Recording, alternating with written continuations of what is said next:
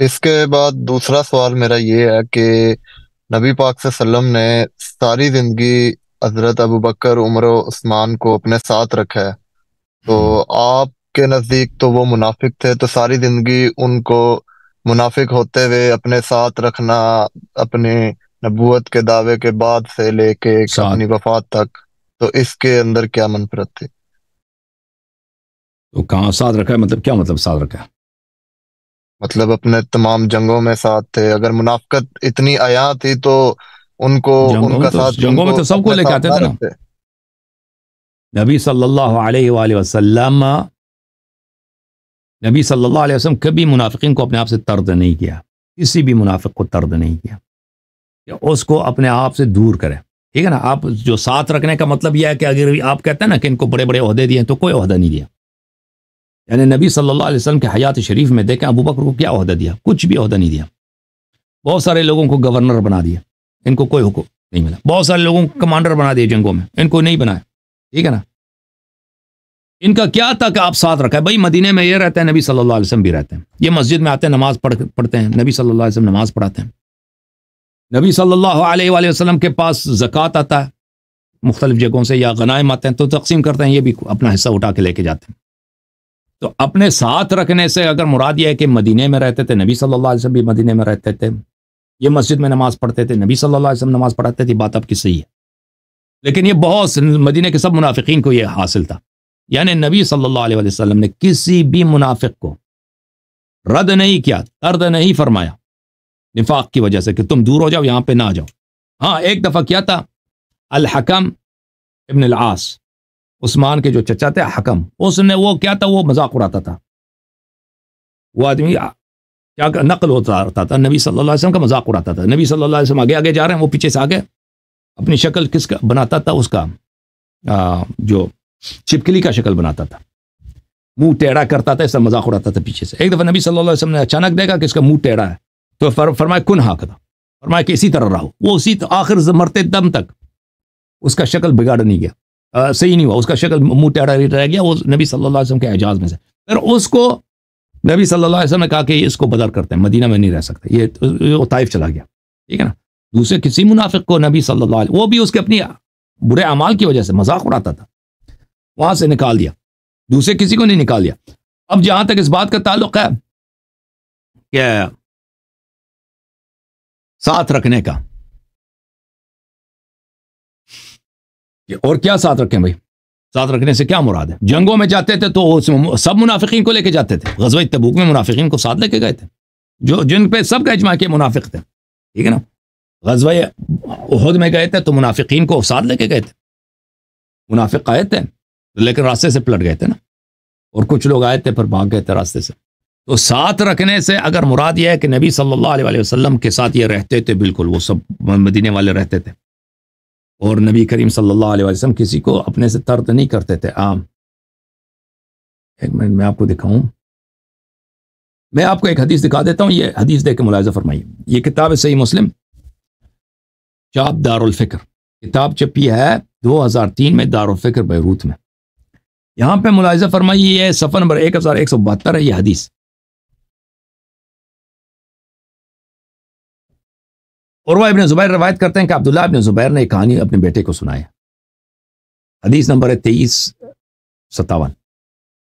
एक रजुल अंसार का था और यह भी बदरी था असल में। इसका झगड़ा हो गया जुबैर से। इस बात पर कि यह पानी का हिस्सा, ये, वो बागात को पानी देने में इनका झगड़ा हो गया आपस में कि पानी पहले किसने, अपने दरख्तों को किसने पानी देना। तो अंसारी ने उससे कहा, अंसार वाले ने तलहा से कहा कि पानी को आने दो। तो इन्होंने कहा कि नहीं, पानी पहले हमारा हक बनता, हम पानी लेते हैं। तो दोनों चले गए नबी सल्लल्लाहु अलैहि वसल्लम के पास, अपना मुकदमा लेकर के आप फैसला सुना दें। तो रसूलुल्लाह सल्लल्लाहु अलैहि वसल्लम ने जुबैर से कहा, इस या जुबैर तुम अरसिल मा इला जारिक। ये दोनों आपस में पड़ोसी थे। रसूलुल्लाह सल्लल्लाहु अलैहि वसल्लम ने फरमाया कि जुबैर, तुम पहले अपने दरख्तों को पानी दे दो फिर पानी का रास्ता खोल देना, ताकि आपका जो पड़ोसी है, उसकी बारी आ जाए। तो उसको गुस्सा आया, अंसारी को गुस्सा आया, वो जो साहबी था। उसने कहा, या रसूल अल्लाह अन खान इब्न अम्मतिक। उसने कहा, या रसूल अल्लाह ये आपके आपके आपके कजिन जो है ना कजिन होने की वजह से। उसने सिर्फ़ इतना कहा, ये आपके कजिन है। यानी आपने पहले बारी उसको दिया, मुझे नहीं दिया। ये आपके कज़न है, इसीलिए। अच्छा। तो ये अच्छा ये एक तरह से इतने गाली भी नहीं है, बस एक अदम रजायत है, एक एतराज़ है। फ़तलवन वजह नबी वसल्लम, रसूल पाक सल्लल्लाहु अलैहि का चेहरा का रुख बदल गया गज़ब किया? अच्छा अर्ज़ यह है कि इसके मुतालिक देख, उलमा क्या कहते हैं। ये किताब है सही मुस्लिम बिशर नबवी, मुजल्लद नंबर आठ। शाब दारुलफ़िक्र जुज़ खामिस अशर। यहाँ पर इसी हदीस को नकल करने के बाद नबवी साहब शरह में क्या फरमाते हैं? क़ालमा का मौक़ यह है।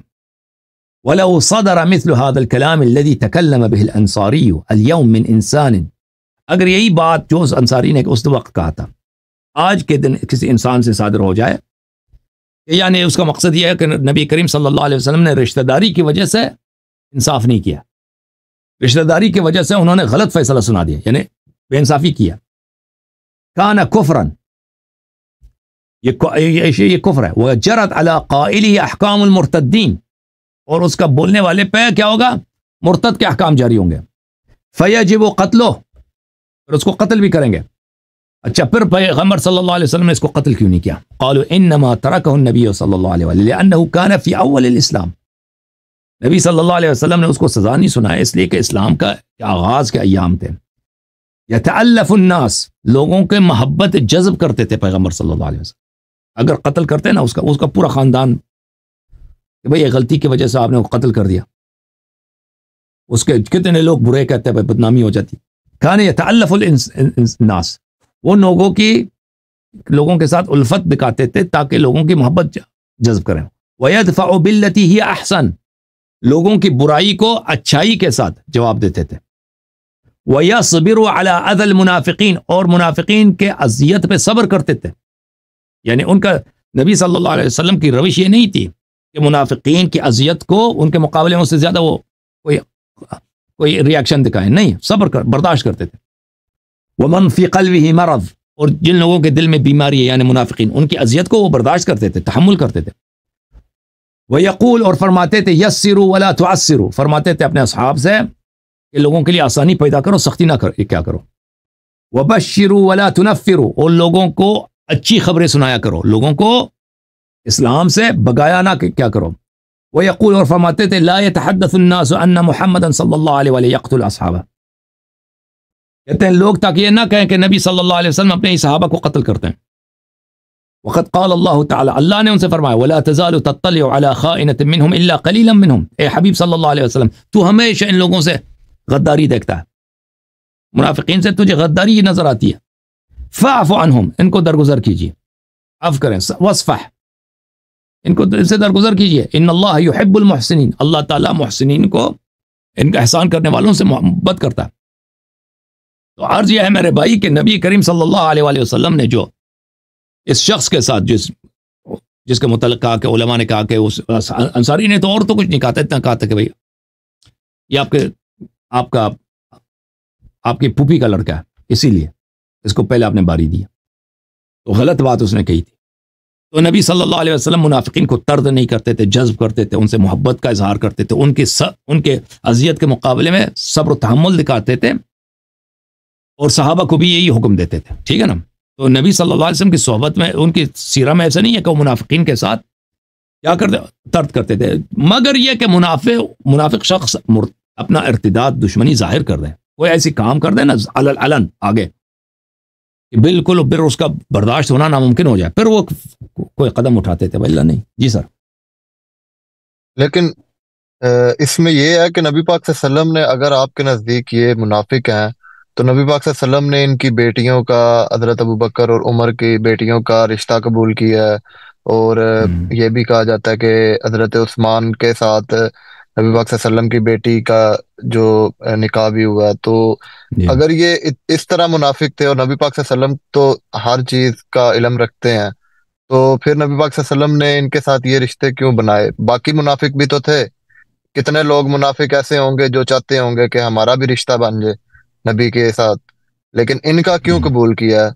जिनको सारी उम्मत आज की अहले सुन्नत की इमाम मानती है। जी।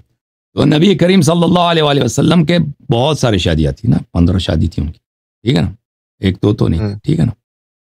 अपने। दुश्मनों के बेटियों से उन्होंने शादी की।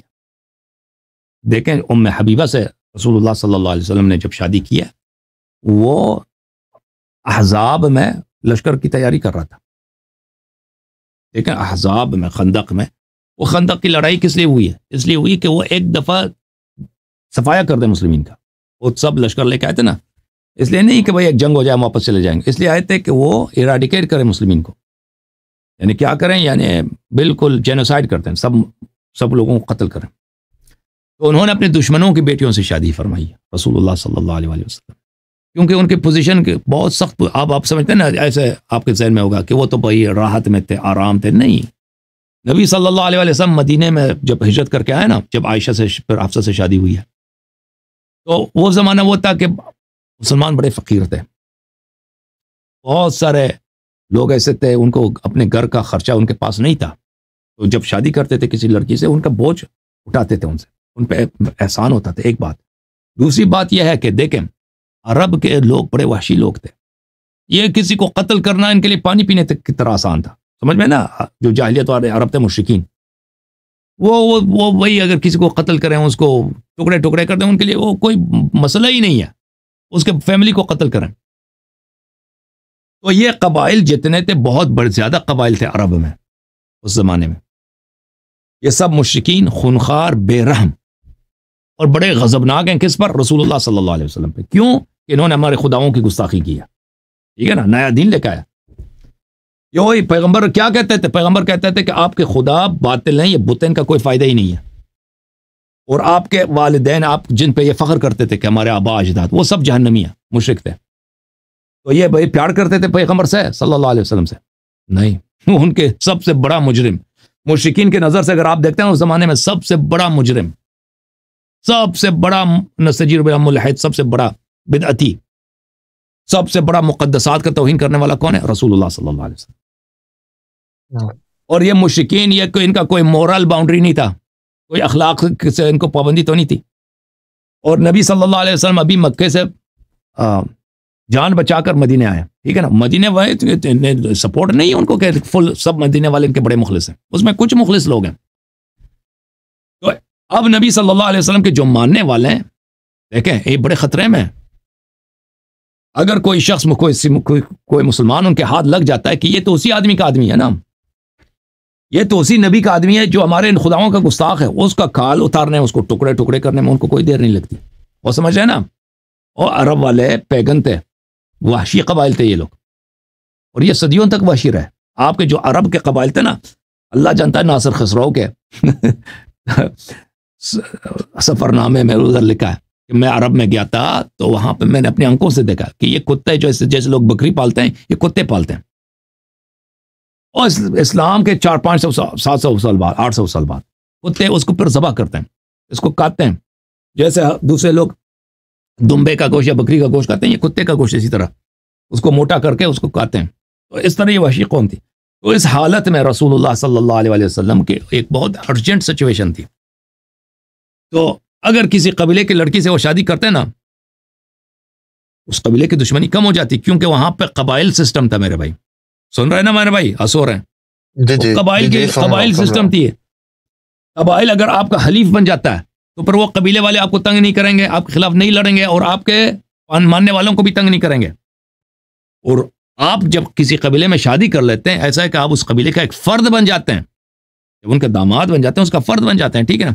तो इसलिए रसूलुल्लाह सल्लल्लाहु अलैहि वसल्लम ने बहुत सारी शादियाँ की और ये शादियाँ घर बनाने के लिए नहीं था।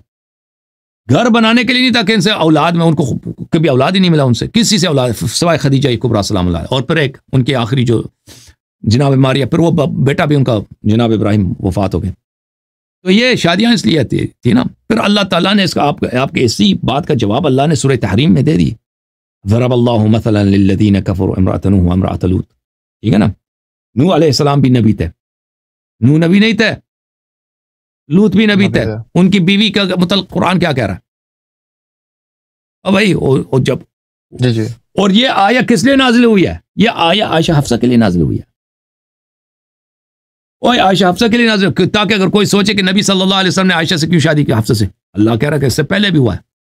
कोई ज़रूरी नहीं कि अगर नबी अच्छा है तो उसकी बीवी भी ज़रूर अच्छी होगी।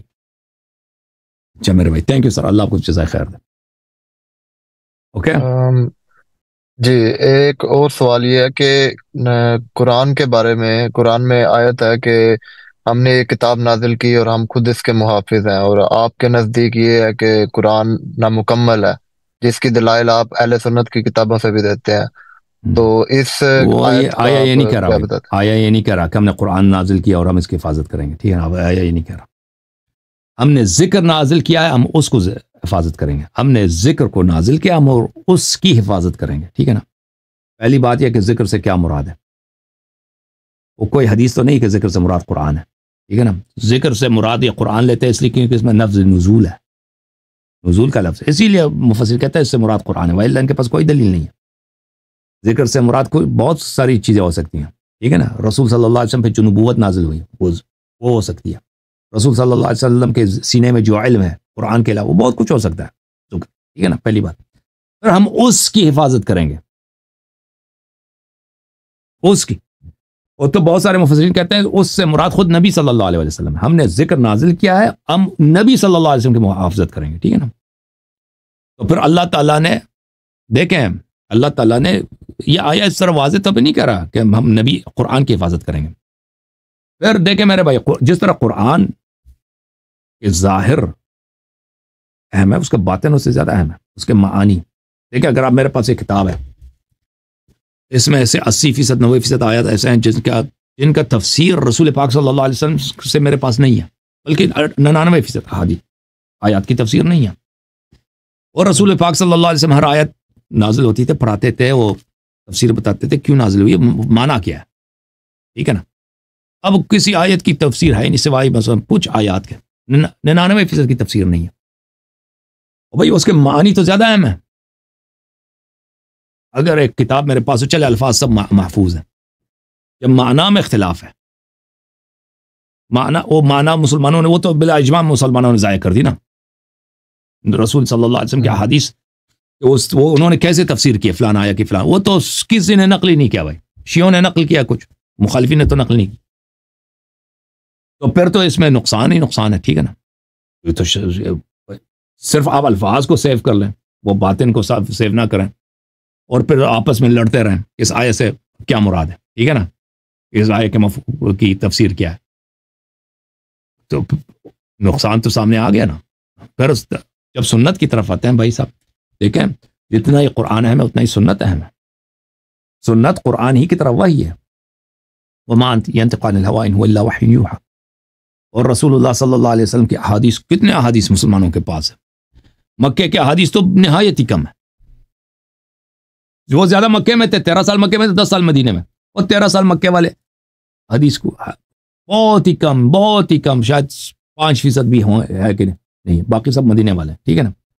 और मदीने वाले अहादीस उनका एक खुतबा भी मुसलमानों ने नकल नहीं किया। वो भाई उनका काम ही था खुतबा देना। रोज खुतबा देते थे, तकरीर करते थे जुमे के खुतबे, वगैरह वगैरह। कुछ नकल नहीं की सिवाय छोटे छोटे जुमले। और उनमें भी आपस में इख्तिलाफ है। और भी कई वास्तों के साथ, सात वास्ते छः वास्ते वो हदीस ज़यीफ है या सही है, उसमें इख्तिलाफ है। देखिए, अगर एक शख्स बातें करता है, चलता है, पढ़ता है कभी कभी मसल शायद हफ़्ते में तीन, चार दफ़ा या उससे ज़्यादा तकरीर करता है, दस साल में वो बहुत मटेरियल है भाई। ठीक है ना? दस साल में वो बहुत ज़्यादा मटेरियल है। वो इतनी बड़ी मटेरियल है कि वो हज़ारों की जिल्दों में किताब आ जाती है, अगर उसको आप हर उसकी हर बात को रिकॉर्ड करें। ठीक है ना? वो तो सब ज़ाया। उसमें से उसमें से अब जमात मुखालिफिन के साथ सब हादिस मिलाते हैं ना। ज़ईफ, सही वगैरह दस हज़ार से ज़्यादा नहीं है। दस हज़ार से ज़्यादा नहीं है। सब हादिस मिला, उसमें अगर रिपीटेशन को आप निकाल दें। रिपीटेशन अगर शामिल कर दें तो हादिस ज़्यादा बन जाए। लेकिन उसमें जो रिपीटेड है ना, वो निकाल दें। ज़ईफ और सही वगैरह को मिला के दस हज़ार से कम है। और सिर्फ़ अगर सही को निकालें, उसमें तीन हज़ार से ज़्यादा नहीं है हदीस तीन हज़ार के लगभग, तीन हज़ार पाँच सौ तीन हज़ार छः सौ। या ज़्यादा से ज़्यादा चार हज़ार। हादीस है। और वो भी हदीस इस तरह नहीं कि लंबे लंबे हदीस हैं, वो छोटे छोटे अक्सर छोटे छोटे आधा आधा आधा लाइन है, कल, कलमात। तो ये तो ये तो ज़ाया हो चुका है ना सुन्नत। इसमें तो शक ही नहीं है कि मुसलमानों के पास नहीं है। वो जो नॉलेज पैगंबर लेके आए थे, अल्लाह ताला की जानब से खुतबे वगैरह वगैरह, उसमें से बहुत कम बचा है मुसलमानों के पास। तो ये भाई साहब, ये अगर कुरान के अल्फाज महफूज हों ये बाकी मुश्किल को हल नहीं करता। कुरान के मानी वो टीचिंग्स नबी सल्लल्लाहु अलैहि वसल्लम ने जो तफसीर की उनकी टीचिंग्स है कुरान के मतलब। वो तो किसी ने नकल ही नहीं किया। उनके अहादीस गैर कुरान तफसीर कुरान न ज़ाय हो गए नकल नहीं किया ना। ये कि इस्लाम नाकस है वही नाकस है हमारे पास इसमें कोई शक ही नहीं है। इसमें बिला शक बिला रहे। लेकिन ये जमात मुखालिफिन के परस्पेक्टिव से शिया परस्पेक्टिव से बिल्कुल नक, नक्स नहीं नकल नहीं है क्योंकि सब महफूज है। आखिर में एक सवाल मैं पूछना चाहता हूँ कि जो साइंटिफिक एक थ्योरी है थ्योरी ऑफ़ एवोल्यूशन के इंसान हम्म। की इर्तका हुई है बंदरों से और फिर सारे स्पीशीज से तो उसके ऊपर आपकी क्या राय है? इम्पॉसिबल और स्पीशी देख स्पीशी दूसरे स्पीशी से नहीं बनती। स्पीशी कभी दूसरे स्पीशी में चेंज नहीं होती। यानी ये इम्पॉसिबल है। तो फिर फिर इस अल्लाह ने अल्लाह की खलकत तो अल्लाह की खालिकियत की एक बड़ी दलील यही है कि हम दुनिया में देख रहे हैं परिंदे ये ये खुद बहुत नहीं बन सकते। ये हमारे डीएनए बहुत ज़्यादा मैच होते हैं चिंपैंजी और बाकी दीगर जानवरों से। हम्म, जी बिल्कुल। ये देखें बहुत ज़्यादा मुख्तलिफ़ है मैचिंग भी नहीं है कुछ कुछ मुश्तरकात हैं। वो तो हर ईमान में दूसरे से मिल जाता है आपको। लेकिन ये कि ये उससे चेंज होके बाय एक्सीडेंट बाय एक्सीडेंट ये इस तरह हुआ ये हो ही नहीं सकता। इतने उसमें देखें जैसे एक ये किताब है ना मेरे पास। देखें ये किताब, इसमें अल्फाज हैं। ये अल्फाज एक ख़ास तरतीब से होंगे, एक हरूफ जो है ना, ये ये ये देखें, ये ये क्या है? ये वर्ड सेटिंग है ना, ये अल्फाज हैं। ये अलिफ वाव पहले होगा, अलिफ होगा, खा होगा, रा और जीम होगा तो मतलब बनेगा ना मीनिंग बनेगा ना। अल्फाज को आप किसी तरह डाल दें, वो तो माने नहीं तो नहीं बनेगा। तो ये देखें, किताब बल्कि एक एक फ़िक्रा, एक जुमला, उसमें मसलन फ़र्ज़ करें पंद्रह हरूफ हैं, पंद्रह लेटर्स हैं। अगर आप उसको कैलकुलेट करें कि बाय एक्सीडेंट आप हिलाते जाए ना, आप अगर आप मसलन कीबोर्ड पे कीबोर्ड आपके पास है, ऐसे ही मारते जाएँ। पंद्रह हरूफ, उसमें से एक स्पेसिफिक आपको सेंटेंस दे दें। ये पता है आपको, आप इसको कैलकुलेट करें। आप हर सेकंड में मसलन दस लेटर को भी दबाएँ। ये बिग बैंग से लेकर आज तक। आप खुद इसको कैलकुलेट करें कभी बहुत ज़्यादा प्रोबेबिलिटी है। प्रोबेबिलिटी यानी बिग बैंग से आज तक ये वो टाइम काफ़ी नहीं है। ये एक फिक्रा जिसमें मसलन बीस वर्ड्स हैं। अगर आप ऐसे रैंडमली मारे कीबोर्ड को ये जुमला बन जाए। ये आप मारते जाएँ यानी अगर बिग बैंग है पंद्रह बिलियन ईयर्स बिफोर यही एस्टिमेट है साढ़े पंद्रह पंद्रह बिलियन ईयर्स साढ़े चौदह हम्म, साढ़े चौदह। अभी ये टाइम काफ़ी नहीं है। इंसान की डीएनए जो है उफ क्या है भाई? ये किताब उसके सामने कुछ भी नहीं है। इंसान की डीएनए ठीक है ना? बिल्कुल। इंसान की ये कुछ भी नहीं है। ये कुछ भी नहीं है। यानी बड़ी से बड़ी लाइब्रेरी लेके आए उसमें इंसान की डीएनए में जो फॉर्मूला है जो लेटर्स हैं जो एक स्पेसिफिक इंफॉर्मेशन की अरेंजमेंट है जैसे इस किताब में बहुत कॉम्प्लेक्स है। उसी तरह होगा तो इंसान होगा। अगर उसमें आगे पीछे करें ना इंसान नहीं बनेगा कोई और चीज़ बनेगा। तो इस तरह रैंडमली और फिर देखें ये बाय चांस देखें जब चैंपांजी को आप कहते हैं को इंसान बन जाता है देखें डीएनए इंफॉर्मेशन लॉस तो होती है गेन नहीं होती यानी इंप्रूवमेंट की तरफ़ नहीं जाती क्योंकि आप आम, देखें अगर आप एक काले आदमी को लेके जाएँ सफ़ेदों के शहरों में वाइट्स के शहर में ठीक है ना या अगर ऐसे कुत्ते को ले जो का, काला कुत्ता है वाइट डॉग्स के कम्युनिटी में लेके जाएँ उसका जो पहला नस्ल होगा कैसा होगा? हाँ। हाँ मसलन वो शायद कुछ ब्राउन हो जाएगा उसमें कुछ काला रंग आएगा। तीन चार नस्ल के बाद वो काला कुत्ते के असर नहीं रहेगा सब वो उसके जितने कुत्ते के बच्चे होंगे वो सब सफ़ेद होंगे ठीक है ना? चार तीन नस्ल चार नस्ल के बाद। यानी क्या होगा उसका जीन्स बिल्कुल लॉस हो जाएगा। समझ रहे हैं मेरी बात को? बात यह है हम्म। अगर इंप्रूवमेंट बनती है एक दफ़ा इंप्रूवमेंट तो नहीं बनती ना इतने ज़्यादा। इंप्रूवमेंट तीन है पहली बात यह कि एक्सीडेंट के ज़रिए इंप्रूवमेंट नहीं बनती। एक्सीडेंट हमेशा डिस्ट्रॉय करता है जीन्स को। बाय एक्सीडेंट इंप्रूवमेंट नहीं बनती एक्सीडेंट डिस्ट्रॉय करता है। अगर हम फ़र्ज़ भी करें ना कि कभी ऐसा हुआ भाई चंपांजी ने चंपांजी के साथ उसने कॉपुलेट किया है उस, उसके बच्चे पैदा हुए उस, उसमें कुछ इंप्रूवमेंट आई है किसी एक्सीडेंट के बिना पर उसकी जीन्स में। ठीक है ना? हालाँकि ये ये, ये इसका ये बहुत कम है इसका एहतमाल। हमेशा डिस्ट्रॉय ये अगली नस्ल में ये ज़ाया हो जाएगा ये इंप्रूवमेंट आप समझ रहे हैं ना मेरी बात को? जी जी। अगली नस्ल में क्योंकि उसी ने उसी कम्युनिटी में शादी करनी है उस उस चंपाजी ने। उसी कम्युनिटी में दूसरा जीन पूल में उसको मिलाप हो जाएगा। फिर जो थोड़ी बहुत इंप्रूवमेंट आई वो ज़ाया हो जाएगा ख़त्म हो जाएगा। इंप्रूवमेंट इतनी ज़्यादा कभी नहीं होती कि वो बिल्कुल फिर वो लॉस ना हो जाए वो वो गेंद जो है लॉस ना हो ये कभी नहीं होती। इंप्रूवमेंट अगर थोड़ी बहुत पहली बात है इंप्रूवमेंट हासिल नहीं होती डिस्ट्रक्शन होती है इंफॉर्मेशन की एक्सीडेंट में। अगर हासिल भी हो जाए तो फिर क्योंकि वो उसी कम्युनिटी में, उसकी दोबारा वो, दूसरी, उसी जीन पूल में वो रहेगा तो वो इन्फॉर्मेशन ज़ाया हो जाएगी। तो एक कभी इंप्रूवमेंट हासिल नहीं होगा। पर यह कि एक स्पीशी मसलन, जो है, दूसरी स्पीशी बन जाए, मसलन रैबिट ईगल में तो चूहा। चूहा कैट में तब्दील ये तो भाई ये ये मज़ाक बनाया इन लोगों ने। ये तो बिल्कुल पागल लेकिन बहरहाल अगर आप टाइम देखें जो ज़मीन की जो उम्र है ज़मीन की जो एज है साढ़े चार बिलियन मुझे जो याद पड़ता है मैंने बहुत साल हो गए नहीं पड़े चार चार बिलियन है वो कूल डाउन के बाद कितना है? दो बिलियन ईयर्स है। दो बिलियन ईयर्स है। ये बिल्कुल काफ़ी नहीं है। ये टाइम काफ़ी नहीं है। अगर हम इसको मान भी लेना कि ये पॉसिबल है। ये टाइम काफ़ी नहीं है, इतने ज़्यादा वेराइटीज आने के लिए। और अक्सर वेराइटीज अचानक ज़ाहिर हुए ना, जो फ़सल फ़सल रिकॉर्ड है। आप पीछे एक सौ एक सौ एक सौ पचास मिलियन ईयर्स के पीछे चलते हैं, उसके बाद अचानक एक दफ़ा ये चीज़ें ज़ाहिर हो जाती हैं। उससे पीछे जो 150 मिलियन ईयर्स से पीछे जब आप चले जाते हैं ना, उसमें जो फ़सल रिकॉर्ड है, उसमें वैरायटी नहीं है। यानी ये जो कहते हैं ये एवोल्यूशन वाले कहते हैं कि दो बिलियन ईयर्स में बहुत सारे चेंजेस है। दो बिलियन ईयर्स काफ़ी नहीं अल्लाह जानता है कि, कि एक छोटे सा अमीबिया जो है अगर जो उसके जीनोम इतना कॉम्प्लेक्स है वो सबसे ज़्यादा सिंपल लाइफ जो है यही सिंगल सिंगल सेल जो जानवर होते हैं वो होती है। उसकी जीनोम सिर्फ़ अब सेल स्ट्रक्चर को छोड़ें सेल में माइट्रोकांड्रिया होता है उसमें न्यूक्लियस होती है वो क्या बुला होते हैं? तो वो बहुत अजीब है सेल अल्लाह जानता है एक कायनात है एक सेल सही कह रहा हूँ नहीं कह रहा हूँ? अब बायोलॉजी पढ़े एक सेल एक कायनात एक कायनात एक दुनिया एक जहान है। जैसे जैसे हमारी दुनिया कॉम्प्लेक्स है इसको समझना बड़ा मुश्किल काम है। एक सेल इसी तरह कायनात है। अब उस सेल के अंदर उसका जो जीनोम है इतना कॉम्प्लेक्स है। उसका बाय एक्सीडेंट बनना भाई ये जो ये जो कहते हैं ना दो बिलियन ईयर्स है। अर्थ का, ज़मीन का उम्र। ये दो बिलियन ईयर्स अगर आप बिग बैंग से आज तक इसको एक बिलियन दफ़ा भी रिपीट करें, ये काफ़ी नहीं है कि वो बाय एक्सीडेंट बन जाए, क्योंकि उसमें इतने वेरिएबल्स हैं।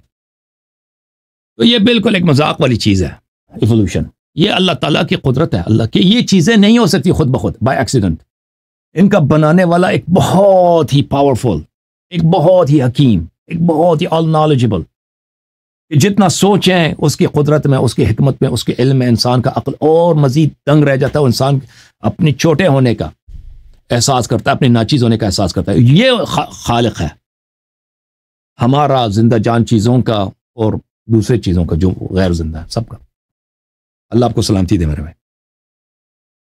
इसी इसी इसी पे मुलहिदीन जो एथिस्ट हैं वो हम्म। सवाल उठाते हैं कि अगर एवोल्यूशन नहीं हुई तो अगर आप कहते हैं इस्लाम में हज़रत आदम से नस्ल चली है हज़रत आदम और हज़रत अव्वा से तो क्या उनकी पहली जनरेशन या पहली नस्ल जो है वो इंसेस्ट के थ्रू आगे से फिर बढ़ी है? तो हदीस में यह है। कि अल्लाह ताला ने उनके लिए स्पेशल मखलूक खल किया था। हज़रत आदम के बेटों के लिए स्पेशल मखलूक खल किया था उनसे उसकी शादी हुई थी। ठीक है ना? आसमान से कोई मखलूक ऐसा खल किया था कि उनसे उनकी शादी हो जाए। ठीक हो गया। इतने ही सवाल थे आखिर में आखिर में ये एक रिक्वेस्ट करनी थी मैंने आपसे कि अपने जो लोग जो न्यू स्टूडेंट्स हैं जो अहल तशियों के अकायद या फरोही मसाइल के बारे में जानना चाहते हैं तो आप उनके लिए अगर एक ही किसी एक चैनल पे या एक प्लेलिस्ट बना के तमाम अकायद कुरान सुन, सुन्नत अहल बैत के अहकाम टीम की ज़रूरत है भाई। मेरे पास टीम नहीं है ना। ओ, ओ भाई टीम टीम होता ना। मेरे पास अगर टीम होता तो कर लेता भाई। बहुत ये, ये बात जो बातें कर रहे हैं ना। था अगर ये हम्म। तमाम दावत और शिया शिया मेरे शिया मेरे मुखालिफ हैं। और शिया जो है ना ये- यही उनके तो- पास दलील वलील कुछ भी नहीं। मेरे खिलाफ तीस तीस सेकंड के क्लिप बनाते हैं कि देखो अल्लाह यारी काफिर है। सब गाली देते हैं सपोर्ट कोई नहीं करता। यही तो हम्म। मसला है कि अहले तशियों में इतने ज़्यादा आगे से फिरके हैं कि बंदा फिर कि- अगर कोई अकायद या नहीं, फिरका- फिरका कोई नहीं। चाहता है तो वो नहीं वो इस्नाशरी हैं वो इस्नाशरी हैं। वो फ़िरका फ़िरका कुछ भी नहीं, हमारे ही फ़िरके के लोग हैं। बस उनसे कह दो ना कि आप उनसे कह दो कि बस बारह इमाम को, मेरा जुर्म यही है। क्या मेरे खिलाफ क्यों है? मैं कहता हूँ बारह इमाम अलैहिस्सलाम को इतबा करनी है, गैर की इतबा नहीं करनी। यकीन जानो, अल्लाह की कसम, अल्लाह की कसम, ये कुम कुम वाले, नजफ वाले, मौली आज़ादी मेरे, ये जाकिर आज़ाद, मेरी क्यों मुखालफत करते हैं? इसलिए नहीं कि मैंने कहा कि भाई कोई, तुम आके इसराइल के साथ बैत करो। मैंने कभी नहीं बोला कि आगे तुम अमेरिका के साथ बैत करो। ठीक है? मैंने हालाँकि मेरा अकीदा यही है कि अमेरिका जो है बहुत सारे इस्लामी मुल्कों से बेहतर है। मेरा अकीदा यही, वो लेकिन अलग बात है। लेकिन इस बात को कोई ना माने तो वो वो तो सब जानते हैं अमेरिका बहुत सारे, वो वीज़ा मिले ना तो सब मौली इधर ही आएँगे। लेकिन वो इसीलिए मेरी मुखालफत करते हैं कि मैंने बोला कि आयम अथार अलैहिस्सलाम की इतबा करनी है, किसी और की नहीं करनी है। तो ये जो है ना, इनकी इनकी चिड़ मुझसे इसी बात पर है। लेकिन आप जो बात कर रहे हैं ना मैं बहुत जितनी मेरी ताकत है मैं कर लूँगा इनशाला तब लेकिन अगर मेरे पास एक टीम होता ना कम कम सात आठ आदमी। जी जी। हाँ। तो मैं बहुत अल्लाह काम कर पाक- सकता जी। अल्लाह पाक आपको लंबी ज़िंदगी दे। अगर आप कुरान की तफसीर और सिर्फ़ ज़रूरी अकायद ही रिकॉर्ड करवा देना तो हम्म, एक बहुत बड़ा दावत का काम हो जाना। इंशाल्लाह। किताब है उसका नाम है उसका अच्छा नाम है जी जी। उसका नाम है हक़ुल यकीन। अल्लामा मजजी के हक़ुल यकीन उर्दू जबान में उसको पढ़ें ठीक है ना? अल्लाह आपको सलामती दे जी थैंक यू ठीक हो गया अल्लाह आपको इज़्ज़त दे जी thank you so much thank you thank you मैं अल्लाह ब्लेस यू